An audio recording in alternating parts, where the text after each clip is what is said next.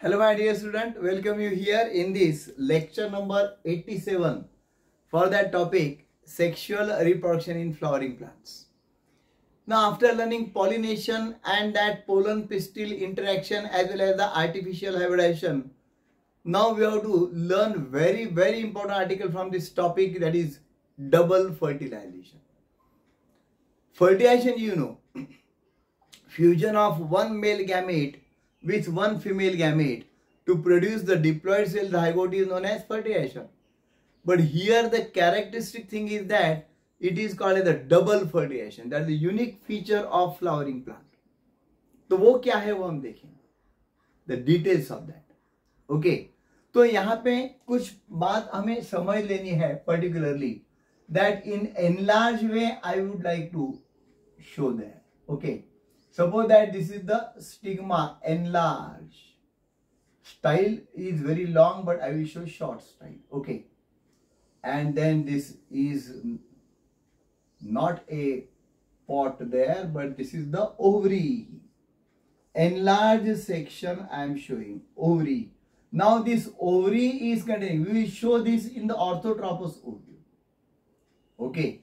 So this is orthotropous ovule particularly. So this is that micropyle definitely you should be knowing. Okay. And now this is that that particularly ovule you know. This is the micropyle opening on the upper side. So this is placenta. Funicle ovule. All we have studied. This is orthotropous ovule I am showing. What is this? Orthotropous ovule. Orthotropous यानी straight ovule. Okay, this I am showing here. And this is the micropyle opening. ये जो opening है वो क्या है micropyle. Now this contains the nucellus. Nucellus contains the that embryo sac and all that we have studied. Suppose that this is the embryo sac. Towards the micropylar end, this is that egg or female gamete. These are the two synergites I am showing. Okay. And these are the two polar nuclei that I am showing. And these are the antipodal cells. So please refer the structure of the ovule. ये ovule का structure आप ज़रूर learn कर लो पर ये जो है ये कौन सा है two polar nuclei two polar nuclei are in the centre, okay? ये दोनों मिला के हम उसको डिप्लॉइड कहेंगे। टू एप्लॉइड न्यूक्लियस न्यूक्लिया वहाँ पे।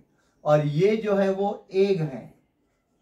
Central queen is the egg which is haploid this is egg and these are that well known synergids two synergids are there this is number one and this is number ये दूसरी हो जाएँगी। Okay synergids they are also haploid so this is ovule and all that you know okay मैंने पूरा rewind कर दिया यहाँ पे। पूरा स्ट्रक्चर जो है वो। Ovule has got funicle, then it has got the micropyle opening at the apex. जो ऑर्थोट्रोपस ओविल में बता रहा हूँ। अगर एनोट्रोपस है तो ऐसा नीचे आ जाता है। This would have turn down okay So when funicle and micropyle are in straight line and micropyle is facing up, then it is known as orthotropous or straight ovule.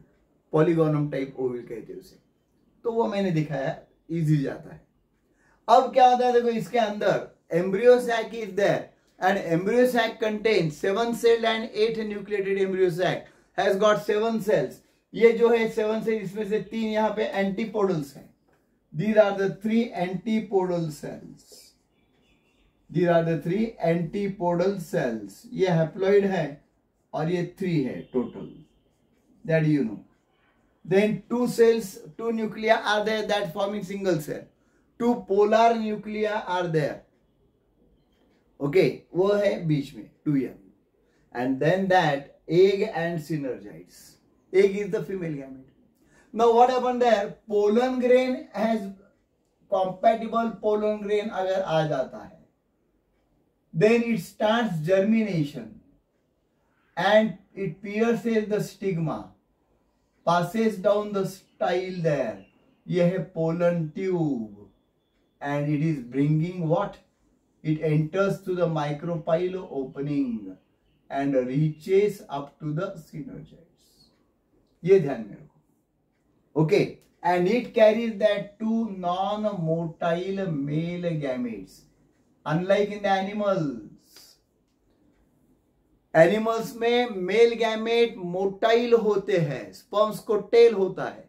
And the sperms can swim freely actively up to the female gamete but here the two male gametes are non motile ये दो male gametes जो carry किए हैं pollen tube ने, वो कैसे है? Non motile they are not able to move and they are to be carried by this tube ये जो ट्यूब बन गई है that is called as the pollen tube it carry that from stigma it pierce is down into the style and then it enters into the up to the, देखो, ये तो भी मैंने एनलार्ज करके बताया है।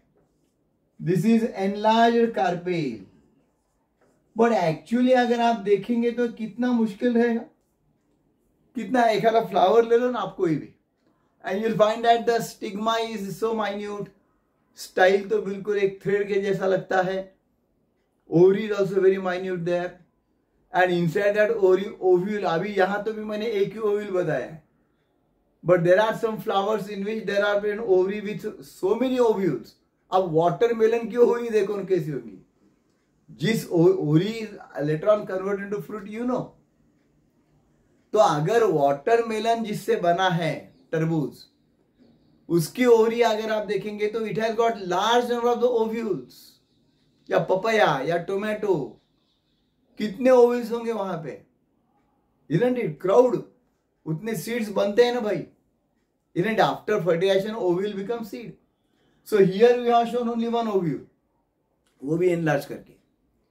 So pollen tube pierce the stigma passes down to the style carrying two male gametes enters into the micropyle and that is known as siphonogamy that where male gametes are carried by, are carried up to the that female gamete by pollen tube. Male gametes को pollen tube ने carry किया है siphon का मतलब है tube you must be knowing the meaning of that isn't it siphon का मतलब है tube so since pollen tube is carrying two male gametes up to the ovule it is known as siphonogamy okay then say why pollen uh, that male gametes are required to be carried because they are non-motile okay then another term is porogamy that this pollen tube carrying two male gamete enters into the ovule through micropyle opening of the ovule यो ovule का जो micropyle opening है enters through pore कौन सा pore है वो? Micropyle of the ovule and that's why it is known as what porogamy poro pore means aperture ये जो ओव्यूल का एपर्चर है माइक्रोपाइल नाम का, वहाँ से ये पोलन ट्यूब अंदर आ रही है. And that is therefore called as what porogamy generally वहाँ से ही आती है. Okay okay. कभी कभी चालू इन से आती है तो उसे कहते हैं चालाजोगैमी कभी कभी इंटेग्यूमेंट से आती है तो उसे कहते हैं mesogamy that is very rarely form okay and then syngamy अब यहाँ पे थोड़ा मैकेनिज्म समझ लो। That once the pollen tube reaches the ovule it strikes on one of the synergid दोनों में से एक सिनर्जाइड को वो स्ट्राइक करता है।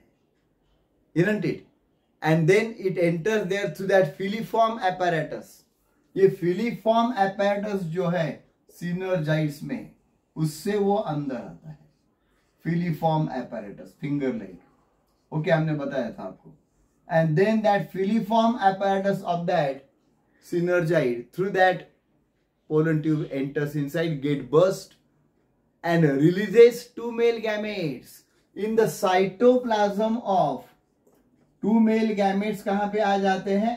Release in the cytoplasm of that synergid.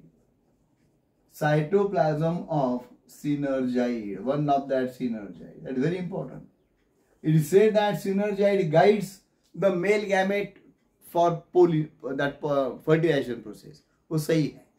अब ये सीनर्जाइड के इसमें आ गए हैं रहने के लिए, साइटोप्लाजम में। Two male gamete. And now that out of that one of the male gamete fuses with this egg.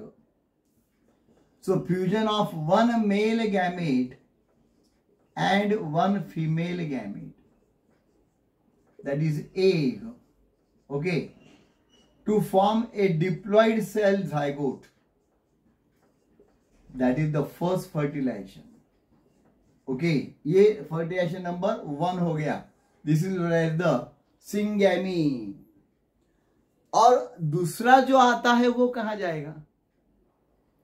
The other male gamete from that will go where that will go into the second polar nuclei there two polar nuclei it will fuse with that two polar nuclei so other male gamete other male gamete will fuse with what?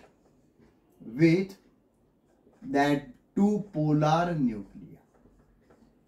ये polar nuclei जो है वो diploid रहेगा। क्यों? Because there are two and this is one haploid three nuclei are getting fuse fuse there to form that triploid cell known as triploid primary endosperm nucleus triploid primary endosperm nucleus TPEN कहते हैं उसे.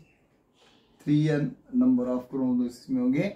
And since three nuclei are fuse there it is known as triple fusion तो ये चारों भी terms अच्छी तरह से जान लो.